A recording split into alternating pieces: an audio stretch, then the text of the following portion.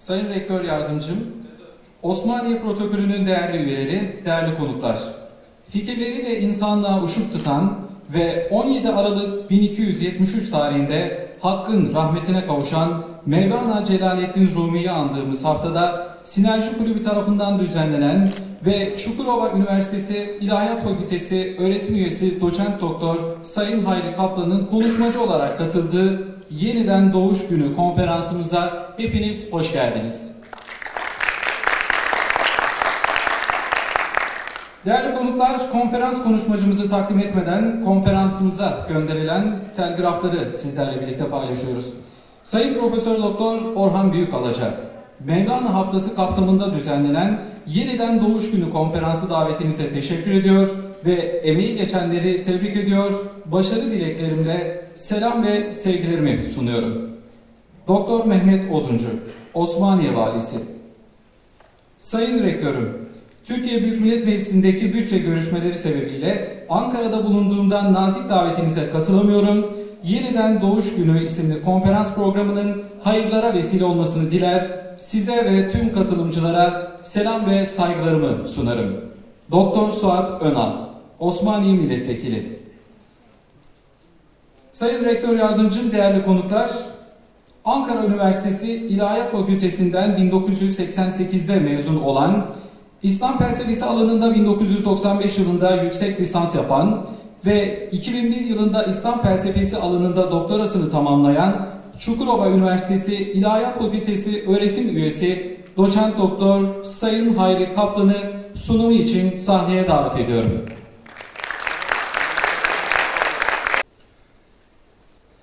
Sayın Protokol, kıymetli Hazirun, öğretim üyeleri, sevgili öğrenciler, hepinizi sevgi ve saygılarımla selamlıyorum. Yeniden Doğuş Günü diye isimlendirdiğimiz bu kısa süreli konferansta Mevlana'nın bize miras olarak bıraktığı, bizlere kendi yaşadığı tecrübelerden aktardığı ama yine bizleri düşünerek hem bu dünya hem öbür taraf dediğimiz çok geniş bir bakış açısıyla konularını aktardığı mirasından, öğütlerinden, düşüncelerinden her şeyden önce yaşarken yeniden nasıl doğduğundan kısaca bahsetmeye çalışacağım.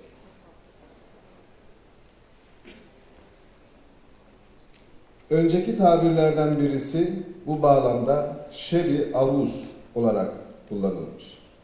Bizzat Mevlana'nın kendisi ölüm vakti yaklaştığında şebi aruz gerçekleşeceği için büyük bir sevinç, büyük bir huzur içerisinde. Ölümünden birkaç hafta önce ailesine, yakınlarına kendisinin ayrılık vakti geldiğini hem sözlü hem fiili şekilde hissettiren birisi. Onun ayrılacağını sezen, başta eşi ve oğlu olmak üzere onların çektikleri üzüntü ve ızdırabı dindirecek tarzda ben geldiğim öz vatanıma geri döneceğim. Bunca yıldır size anlatmaya, tanıtmaya çalıştığım sevgilime kavuşacağım. O yüzden benim için değil, kendiniz için üzülün tavsiyesinde bulunmuş. Ölüm hastalığı esnasında kendisini ziyaret eden yine Konya'nın ünlü sufilerinden Sadreddin Konevi efendim geçmiş olsun. Umarız Allah size acil şifalar verir. Tekrar aramıza sohbetlerinize katılırsınız deyince asıl bundan sonra Allah size şifa versin. Ben şifamı buldum o şifayı tatmaya gidiyorum. Diyerek ölümü bu kadar istek, arzu, sevgi ve özlemle karşılayan bir sufinin bize örneklerini canlı olarak göstermiş, sunmuş oluyor. İzninizle yine Mevlana'nın meşhur eseri Divan-ı Kebir'den yani kendisine rehber edindiği, aşkı kendisinden öğrendiği, kendisine aşık olduğu Şems-i Tebrizi'yi anlattığı 40 binden fazla beyitten oluşan Divanı Kebir'den. Belki meslemesini çoğunuz okumuşsunuz veya şöyle bir göz gezdirmişsinizdir. Ama Divanı Kebir işin doğrusu pek fazla okunmayan, buna karşı Mevlana'nın daha coşkun, daha lirik şiirlerini içtenlikle duygularını paylaştığı bir eser. Şöyle diyor.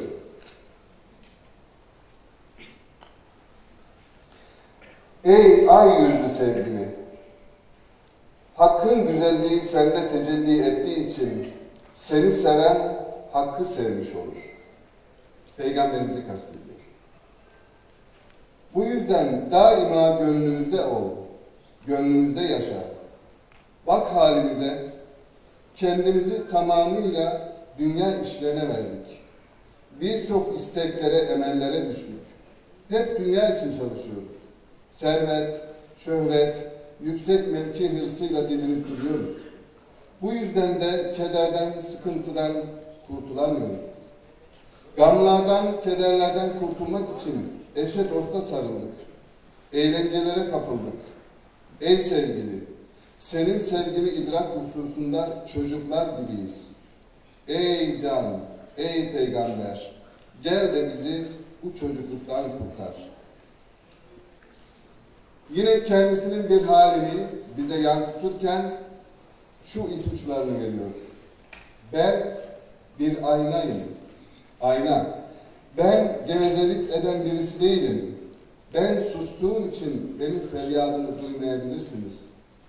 Kulaklarınız ne zaman göz kesilirse benim halimi anlarsınız. Bu nefisten, her heva ve hevesten, her korku ve ümitten kurtuldum. Çünkü sevgilim sensin. Sen benim canımsın. Ben cansız nasıl yaşarım? Sen benim hem gözüm hem de gördüğümsün. Ben gözsüz nasıl görürüm? Efendim şevi aruz demiştik. Normalde düğün gecesi veya uslat gecesi, sevgiliye kavuşma gecesi diye nitelendiriliyor. Bu söz bize Mevlana'dan yaklaşık iki asır önce yaşamış bir başka sufinin sözünü hatırlatıyor. Sizlere bütün konuşmam boyunca takdim edeceğim üzere sufilerin ya dilinden yahut da ben bizzat sufi dilinden bu konuları aktarırken bakın Abdülkadir Geylani Şebi Avuzu veya kısaca gelini, damadı manevi olarak nasıl tanımlıyor? Şöyle diyor. Allah'ın bazı kulları vardır. Bazı velileri vardır. Onları ne cennet ne cehennem için yaratmış değildir. Onları sadece kendisi için yaratmıştır. Onlar gelinler gibi süslüdür. Damatlar gibi süslenmiştir. Sadece ona mahremdir. Çoğu kez onları başkaları bilmezler. Biz bunun bir yansımasını bizzat kutsal kitabımızda da görüyoruz. Kıyametin sahneleri aktarılırken insanlığın bizim tahminimizce iyiler ve kötüler, cennetlikler ve cehennemlikler diye iki gruba ayrılacağını tahmin ederken karşımıza üç gruptan söz ederek bilgi veriyor allah Teala. Birincisi uğurlular, cennetlikler. İkincisi bunların tam tersi, uğursuzlar ve sonları iyi olmayanlar, cehennemlikler. Bir de apayrı bir gruptan söz ediyor ki bu çok öncelikli ve allah Teala'ya çok yakın bir grup. Bunlara önde gidenler ve Allah'a yakın kılınmışlar, yaklaştırılmışlar adını veriyor. Demek ki böyle seçkin, böyle farklı, böyle ilahi bir sevgiyle sevilen, ayrı görülen bir grup var. Mevlana da ömrünü çok kısa bir şekilde üç kelime kelimeyle özetliyordu. Birincisi hamdı. Bu babası hayatta ve henüz muhakkik Tirmizi ile tanışmadığı döneme kadar olan kısım. Diğeri Piştim. Bu da muhakkik Tirmizi'den ta Şems-i Tebrizi'ye kavuşuncaya kadar ki dönem ve üçüncü apayrı bir Mevlana'yı Mevlana yapan dönem o da yandım. Bu yandım dönemi de Şems-i Tebrizi ile başlıyor, ömrünün sonuna kadar devam ediyor. Mevlana'nın babası ve ilk üstadı olan kişi her ikisi de yani Sultanul Ulema ve Muhakkik Tirmizi Necmettin Kübra adlı Kübrevi kolunun kurucusuna bağlılar. Yani klasik adıyla tarikat dediğimiz öğretiyi pratikleriyle uygulayan kişiler. Bunlardan eğitim alan Mevlana rivayete göre iki veya üç kez 40 günlük çileler çıkarmış. Kapalı, ufak, dar bir hücrede çok az yiyerek, içerek beş duyusunu dış dünyaya kapatarak Rabbi ile kendiyle baş başa kalıp kendisini ve Rabbini keşfetme uğrunda gayret göstermiş. Ta ki bir rivayete göre 40, bir rivayete göre 60'lı yaşlarına yaklaşırken Şems-i Tebrizi denilen kalender meşrep fakat bu da Necmettin Kübra kolundan gelen bir seyyah derviş karşısına çıkıyor. Kendisini yakacak olan bu derviş ilk karşılaşmalarında Mevlana üzerinde kendisinin kim olduğunu sadece Mevlana'ya gösterecek, yansıtacak şekilde bir manevi işlem uyguluyor. İlk karşılaşmalarını anlatan senaryolardan biz özellikle Eflaki'nin rivayetini tercih ettik ve bu ilk karşılaşmada dışarıdan görünenin aksine acaba hangi manevi dinamikler devreye girdi, manevi işlemler yapıldı, onu tespit etmeye çalıştık.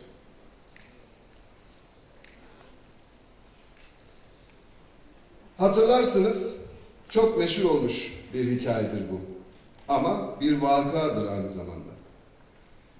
Medresesinden çıkmış, derslerini vermenin mutluluğuyla yanında belki onlarca talebesiyle atın üzerinde ilerlemekte olan Mevlana önüne birdenbire derviş kılıklı birisi çıkar. Atın yularından tutar. Ey müderrisler müderrisi, hocalar hocası, bir müşkilin, bir problemin, bir soru, sorun var. Yanıtlar mısınız? Nedir sorun? Acaba Muhammed mi büyüktür yoksa Bayezid Bestami mi büyüktür? Mevlana diyor ki daha sonra bu olayı aktarırken onun bu sorusuyla birlikte sanki içimden beynime doğru bir alev, bir etki beni sardı. Şok olmuştum. Bu nasıl bir sorudur dedim.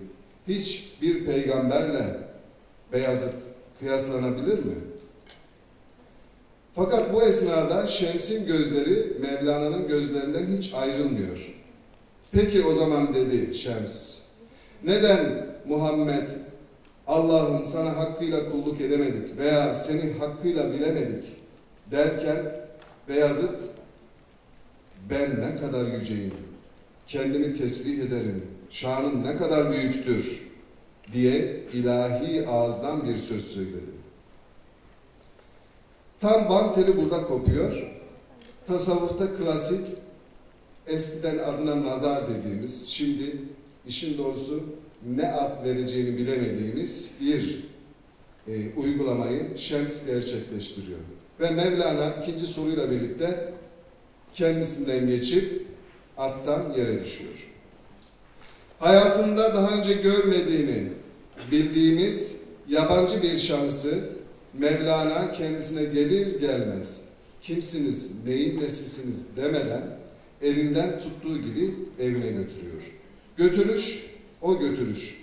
Oğlu Sultan Veled'in dediğine göre yaklaşık 6 ay farz namazlar hariç, özel ihtiyaçlar hariç sürekli birlikte olacakları şekilde evden dışarı çıkmıyorlar. Diyor ki oğlu o kadar süre içerisinde kendilerine yemek getirme veya başka bir bahaneyle kapıyı araladığında çoğu kez şöyle sohbet ettiklerini görüyordum. Ortada ses yok, harf yok. Diz dize birbirlerine çok yakın oturmuşlar. Karşılıklı gözleri çoğu kez yumuk. Benim içeri giriş çıkışımı dahi çoğu kez fark etmiyorlar. Böylece aylar geçiyor. Bu Mevlana'nın ilk henüz çırasının yakılmaya başladığı dönem oluyor. Bu yüzden Mevlana yaşadığı bu olayı daha sonra defalarca ama defalarca kendi müritlerine, sevenlerine aktarırken her seferinde ayrı bir şiir ve beyitle o güne atıfta bulunuyor. Mesela bir tanesinde şöyle bir kez bir Allah eriyle kısa bir süre birlikte olmak, sohbet etmek, yüz sene takva üzere ibadet etmekten daha iyidir. Nitekim dost bana öyle bir nazar verdi, öyle bir bakış baktı ki ben taze, genç bir civan oldum. Dolayısıyla Mevlana'nın Şems'le karşılaşmasından sonraki yeniden doğuşunu temin eden ve Şems'in onun üzerinde uyguladığı tasavvufi bazı metotları yine tasavvufun dilini kullanarak kısaca bu evreleri size aktarmak istiyorum. Birincisi biraz önce anlattığımız olaydaki gibi cezbetme olayı, nazar. Yani Şems Mevlana'ya kendi kalbinde yaşadığı hal ve olaylardan bir kısmını yani kapının aralığından ne kadar görülebilecekse o kadarını Mevlana'nın kalbine yansıtır yansıtmaz Mevlana daha önce hayatında hiç görmediği, hiç yaşamadığı ve kalbinin hissetmediği o duyguları yaşayarak kendinden geçmiş, cezbeye düşmüş idi. Bu nazarla yani normal sözlü sohbet olmaksızın yetiştirme olayı dediğimiz gibi 6 ay süresince devam etti. İkinci evremiz bu esnada gönlü parlatma ve yansıtma dediğimiz aynileşme, sevdiğiyle bir olma, kendisini aynı hissetme olayı. Şems de kendi sermayesi olan o yıla kadar manevi olarak ne kadar kazanımı varsa onu mümkün olan en kısa sürede Mevlana'ya aktarmak için sürekli ona ben sen oldum deyinceye kadar kendisini keşfetme şansı veriyor. Bu da yine sohbetle sözlü veya sözsüz şekilde gerçekleşiyor. Bu aynı iyileşme Mevlana'da o kadar o kadar kısa sürede gerçekleşiyor ki kendisine bazen ismi sorulsa Şems'im ben diyecek derecede kendi ismini unutacak derecede e, rehberiyle birlikte oluyor. Üçüncü aşaması sohbet dediğimiz tamamen gönlün görünmez aleme açılan duyularını geliştirme safhası. Burada artık Şems normalde insanların, Müslümanların gözleriyle görülmeyen, kulaklarıyla duyulmayan ama manevi olarak sürekli çalışan, kendi içinde bir hiyerarşiye sahip başka bir evrenin kapılarını Mevlana'nın gözünü ve kulağını ama manevi göz ve kulağını açarak ona göstermeye, tanıtmaya çalışıyor. Mevlana'nın ifadesiyle benim rehberim benden önceki ve hayatta ne kadar peygamber, ne kadar Allah dostu varsa her birinin köşklerini, her birinin makamlarını bana tanıttı. Her biriyle sohbet ettim, tek tek tanıştım. Diyor ki bu tür merasimler tasavvufta yetişmekte özellikle de ideal bir insan görüntüsü verecek tarzda insanları irşad edecek bir kişinin yetişmesinde zorunlu uygulanması gereken kurallardan, olaylardan birisi.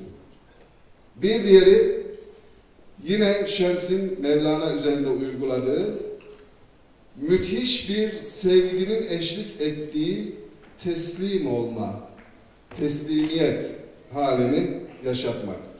Bu teslimiyet hali ilk başta Şems'e yönelik gerçekleşirken kademe kademe daha sonra peygambere, onun ardından da en son yaratıcıya kadar ulaşıyor. Yaratıcıya ulaştığı anda kulluk dediğimiz ve tadının ancak tadılarak anlaşılacağı, ancak o şekilde bilinebilecek bir duyguyu sürekli canlı tutacak hale e, getiriyor. Mevlana bu duyguları, bu gelişmeleri takdir edersiniz hızlı bir şekilde kat etmekle birlikte insan olmanın, beşer olmanın getirdiği ve bedenin ayak uydurmada zorlandığı kısımları da şeyhinin desteğiyle çok kısa, çok az zararla gerçekleştiriyor. Örneğin yine Sultan Veled'in dediğine göre gerek sohbetlerinde gerek şeyhinin yokluğunda Mevlana tek başınayken bazen günler, bazen haftalar geçer fakat Mevlana'nın gözüne bir damla uyku girmezdi. Ne yapıyordu acaba geceleri diye bakardım. Çok mu ibadet ediyor? Hayır. Fakat ya bağdaş kurmuş, ya dizleri üzere çökmüş, gözler kapalı, bazen ağlıyor halde, bazen kendince şiirlerle kendisini avuturcasına sürekli sevgiliye ama sürekli sevgiliye yönelik bir aşk ve iştiyak içerisinde. Bir diğeri aşk derdini Mevlana'nın gönlüne yerleştirdikten sonra o aşkı dert olmaktan çıkarıp ilaç haline getirmek üzere Şems Mevlana'ya ayrılık acısını tattırıyor. Kısa bir süreliğine Şam'a yolculuğa çıkan, bilinçli olarak Konya'dan ayrılan Şems, geride aslında gözünde Şems'ten başkasını görmeyen, sadece hayalinde değil, baktığı her yerde, zahiri gözüyle de hep Şems'i gören bir Mevlana bırakıyor. Şam'da ve Halep'te dolaştığı yerler her nereyse kendisi de Mevlana'nın kendisinin yanında olduğunu hissedecek tarzda uzaktayken kalplerin bir olmasını sağlayan bu ayrılık derdini, daha doğrusu devasını Mevlana üzerinde uyguluyor. Bu evrelerden sonra bir tek evre kalıyor ki artık bu evrede gerçekleşince Mevlana artık Şems gibi hatta Şems'in ifadesiyle Şems'ten daha yüksek şekilde bir güneş gibi kendisi müstakil bir güneş, bir ışık kaynağı haline dönüşecek. O evreye de biz ikinci doğuş evresi diyoruz. Tasavvufta bunu çok eskilere ta Hazreti İsa'ya varıncaya kadar birçok kişinin ağzından söylettiriyorlar. Neyi söylettiriyorlar? Cümle şu. Henüz bu hayatta, bu dünyada yaşarken ikinci kez doğmayan kişi çok yükseklerin, ulvilerin melekutuna, oraların bilgisine, oraları görmeye ulaşamaz. Bu bağlamda Şems artık kendisinde her ne varsa her türlü yönüyle Mevlana'ya aksettirmiştir. O yüzden ikinci ayrılışı veya ölümünden önce Mevlana'ya bazı tavsiyeleri, dostane tavsiye değil, sevgilinin sevgiliye tavsiyesi şeklinde bazı öğütleri oluyor. İnsanlara Şems'in Mevlana'ya nakşettiği, bir ışık gibi kalbine yerleştirdiği bu ilahi sevginin hangi metotlarla, kime, hangi meşrebe, ne şekilde uygunsa nasıl verileceğini, bunlara dair taktikleri hepsini bir bir anlatıyor, aktarıyor, gösteriyor ve yaşatıyor. Bu yüzden sadece Mevlana değil, Mevlana gibi hayattayken benzer insanlar yetiştirenler karşılarında mevcut olan hangi insan hangi kabiliyete sahip, onun tedavisinde ne uygulanması gerekir, bunların her birini kendisi tecrübe etmiş olması gerekiyor. Bu yüzden demişti ki ayrılırken, artık sen ben oldun. Aramızda hiçbir fark yok. Sen insanları bana çağırma. Artık sen ona çağır. Çünkü sen artık o oldun. İfadeler biraz garip gelebilir. Fakat Allah'ın da kutsal kitabımızda buna yakın bazı ifadeleri vardır. Mesela melekler Allah'ı yüceltirken, onu anarlarken, durup dururken ortaya halife, halife yaratılacakmış diye bir söylenti çıkar. Çünkü bunu bizzat Tanrı duyurur. Der ki ben yeryüzünde bir halife yaratacağım. Halife malumunuz tarihten de hatırlayacaksınız. Birinin yerine onun yetkilerini de üstlenerek geçen kişi demektir. Adem bir halife olacaksa kimin halifesi olabilir? Tanrı'nın halifesi olacaktır.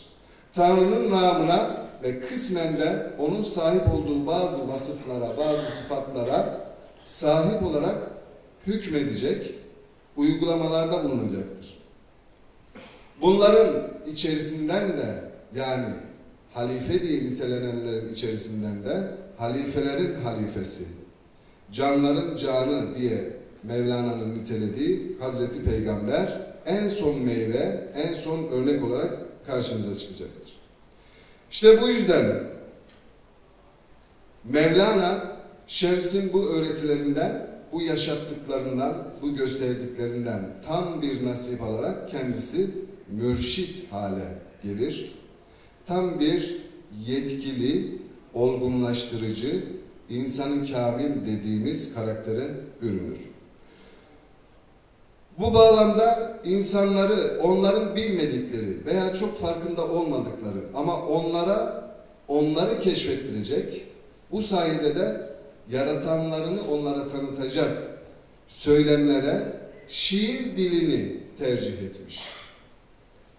Yine arkadaşlarımızın çoğu bilir, Sufi diye nitelenen ne kadar tarihte isim varsa bunların yüzde 99'u neredeyse mutlaka şiir söylemişlerdir. Şiir dili böyle etkili, daha kalıcı ve gönüllerde yer tutucudur. Yine onun şiirinden Mevlana'nın artık Mevlana olduktan sonraki bize yönelik çağrılarına, uyarılarına ufakça bir göz atalım. Bu sayacaklarımın çok büyük bir kısmı yine Divan-ı Kebir'den. Yani bizlerin çok az okuduğu eserinden. Ey can sakisi, yani gönüllere, ruhlara içecekleri, ilahi şarapları veren. Kadehi yıllanmış eski şarapla doldur da bize sun. O şarap gönlün yolunu keser de insanı fani güzellere gönül vermekten kurtarır. İnsanı din yoluna düşürür. Hakka kılavuzluk eder, ona iletir. O şarap herkesin bildiği üzüm şarabı değil. O şarap gönülden kaynağını alır. Gelir, ruhla karışır. Coşar, köpürür, can şarabı olur. Aşığın gözü o şarapla mahmurlaşır. Mansur şarabıdır bu. Yani Hallacı Mansur'un içtiği şaraptır. Bu herkese her zaman sunulmaz. Sadece yatağını yastığını dürüp kaldıran, gecesini uyku ile öldürmeyen hak aşığına seher vaktinde sunulur. Biz genelde Mevlana'yı minyatürlerde, resimlerde betimlendiği gibi başını önüne eğmiş, elinde bir tesbih, parmakları dahi gözükmeyecek uzun yenli elbiseler içerisinde sürekli düşünen birisiymiş gibi tasvir ediyoruz belki.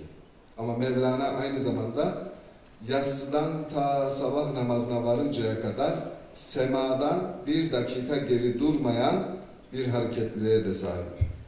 Bu yüzden Mevlana'nın ömründe uykuyla geçmiş gecelerin sayısı çok az. Kendisi de şöyle diyor.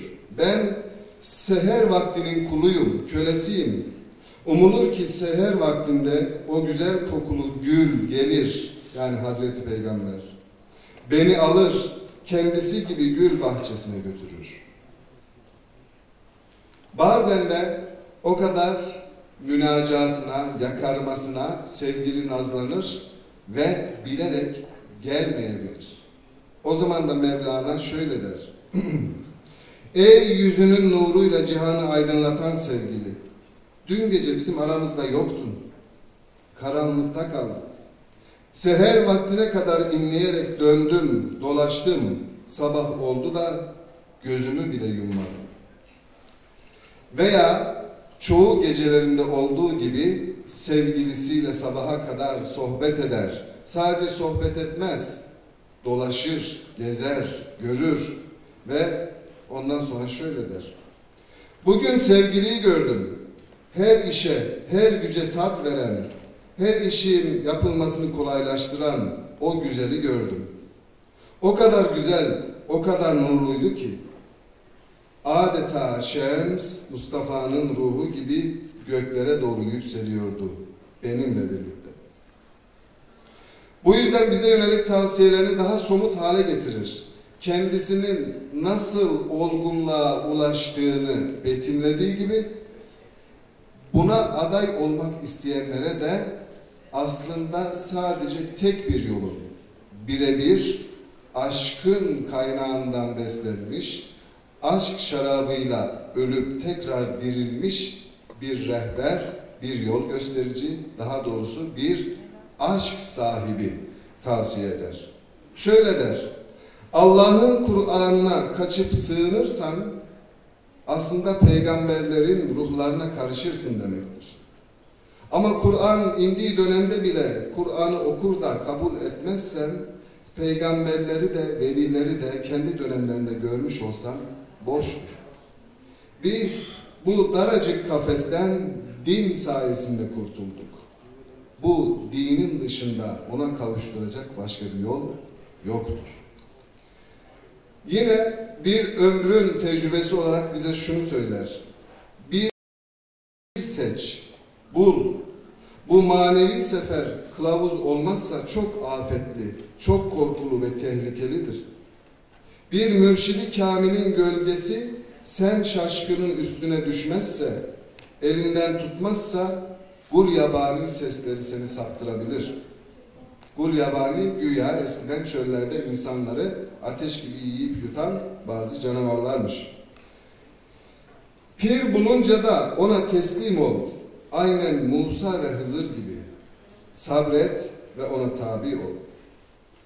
Günlük yaşamımızda da bu ilahi yola yönelmenin bizlere neler kazandırabileceğine dair birkaç kelimede eder. Der ki eğer canımız Allah ile uyanık değilse o uyanıklık aslında uyku demektir. Allah ile olan, Allah'a kul olan ise Allah'ın gölgesi olur. O kul dünyadan yana ölmüştür ama Allah ile dirilmiştir. Var git, gölgeden bir güneş bul kendine. Şemsin eteğine sarıl. Şems-i Tebrizi'yi kastediyor. Bu düğünün, bu gelinin yolunu bilmiyorsan hak haşi olan, hak bülbülü olan Hüsamettin'den sor. Hüsamettin de, Hüsamettin Çelebi, Mesnevi'nin yazılmasına vesile olan yaklaşık Mevlana ile 10 senelik hem hallikleri olan onun sevgili dostlarından birisi.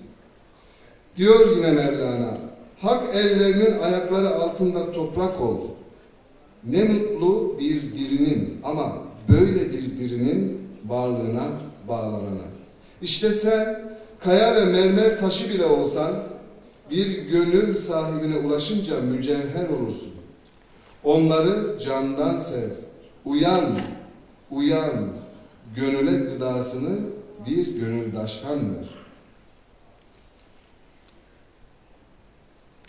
Genellikle bütün insanlığa seslenirken özellikle biz Müslümanlara farklı bir çağrıda bulunuyor. Ey Müslümanlar, ey Müslümanlar! Yarım ufak bir dikeni bile güzelliğiyle cennet bahçesine çeviren gül bir sevgili var. Haberiniz olsun. Haberiniz olsun. Allah'ım bu nasıl bir nurdur? Ateşi bile abı hayata çeviriyor. Sen aklını başına al da öyle bir güzel bul ki işi gücü o gül olsun. Tahmin edersiniz buradaki gülden de maksat peygamberimiz. Ve bu yolu felsefeden, tefekkürden, bol miktarda zahitlik ve amel işlemekten daha farklı bir yol olduğunu, Allah'a ulaşan sayısız yolların arasında çok seçkin ve en kısa yol olduğunu, diğer bir tabirle aşk yolu olduğunu bize hissettirir. Der ki, aşıkların hali ve meclisi başkadır. Bu aşk, işte bu aşk şarabındaki mahmurluk da başkadır. Medresedeki ilim başka, aşk bambaşkadır. Ebu Hanife aşk dersi vermemiştir. İmam-ı Şafii'nin bu konuda bir fetvası yoktur. Bizim bu aşk alanında bu dilden başka bir dilimiz vardır.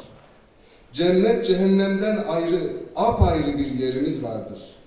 Bu aşk yolunda en basit şeydir. Canı sevgiliye sunmak. Şems yüzünden kan dökmeye de ben karar verdim, azmettim. Çünkü benim elimde Zülfikar'a benzeyen aşk kılıcı var. Sonra tevazusuyla bir rahibin karşısına geldiğinde dahi ona eğilen rahibe, rahibin eğildiğinden daha fazla eğilen Mevlana, şimdi okuyacağım dizelerinde hiç mütevazi davranmaz. Der ki, akıl güzeldir dünya işleri için, buradaki fen bilimleri için ama ruh denizinde orada yüzme işi için bir hiçtir. Burada Nuh'un gemisinden başka çare yoktur. Hazreti Peygamber bu denizde gemi benim demiştir ve eklemiştir. Veya benim basiretimi miras alıp benim yerime halife olanlardır. Madem ki peygamber böyle dedi, iyi bilin. Mevlana kendisi için kastediyor. Biz Nuh'un gemisiyiz. Biz bu denizde Nuh'un gemisiyiz. Ey delikanlı, bu gemiden yüz çevirme. Kenan gibi dağa yönelme. Kenan, rivayete göre Nuh Aleyhisselam'ın oğlu. Tamamen tufan gerçekleşirken babası onu kurtulması amacıyla gemiye davet eder. O da der ki hayır ben yüksek bir dağa bir tepeye çıkarım kendimi kurtarırım. Daha derken araya dalga girer ve boğulanlardan olur. Bu yüzden ben aklımla, tefekkürümle yeterince Tanrı'yı tanır ve onu bulurum diyene Mevlana Kenan gibi dağa yönelme, gemiye bin. Düşe kalka yürüyerek istemiyorsan bir ulunun ayağının tozuyla gözünü keskinleştir. Onun ayağının tozunu gözüne sürme yap. İyi bil ki der yine hiç mütevazi olmadan. Sen hakikati istiyorsan bize uymak ve bizimle o hakikati birlikte aramak zorundasın. Tabi eğer talipsen yine şunu bilmelisin.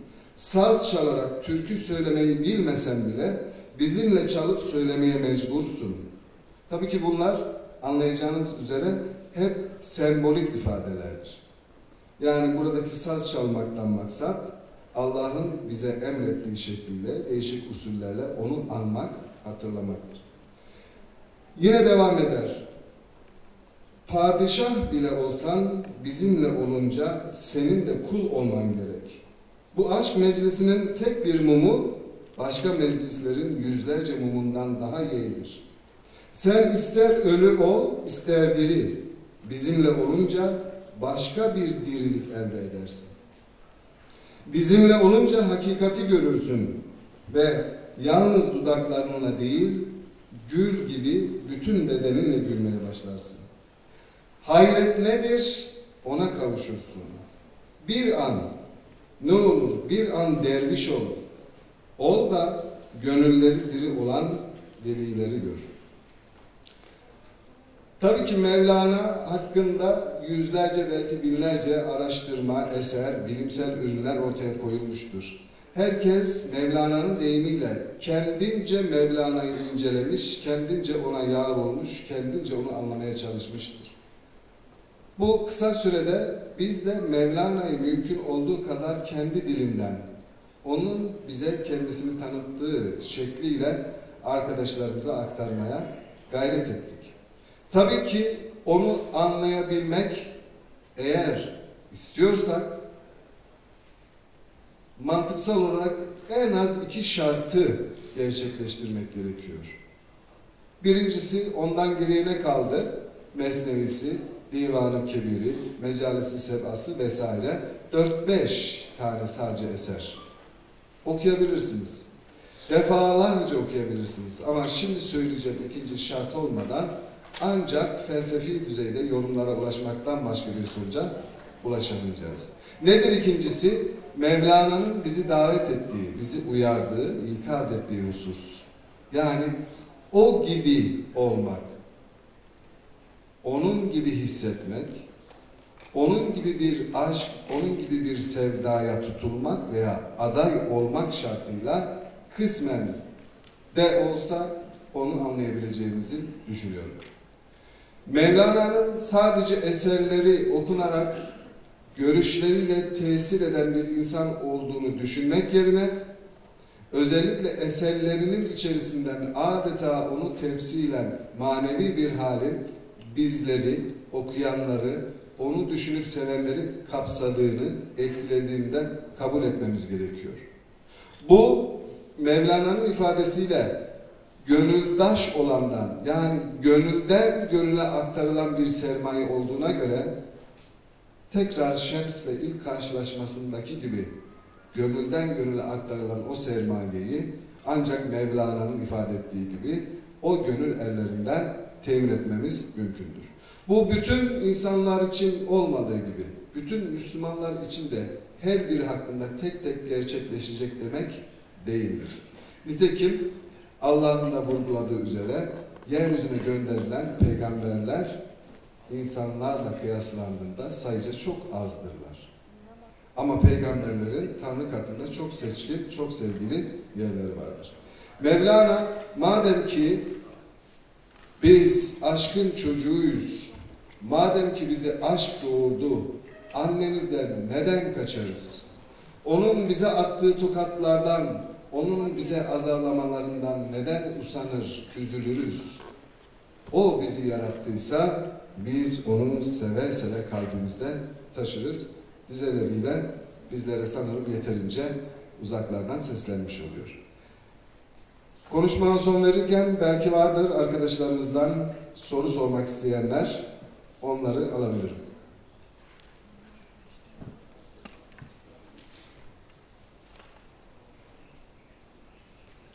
Evet, sarın sorularımız yok. Peki sabırla dinlediniz, geldiniz, teşrif ettiniz. Hepinize çok çok teşekkürlerimi, saygılarımı sunuyorum. Sağ olun, var olun.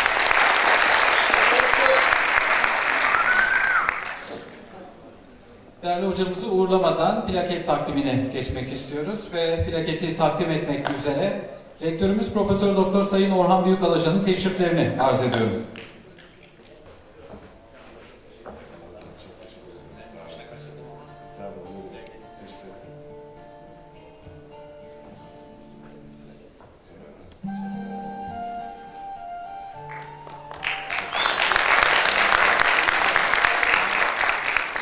Rektörüm, değerli konuklar, konferansımız burada sona ermiştir. Katılımınız için teşekkür ediyoruz.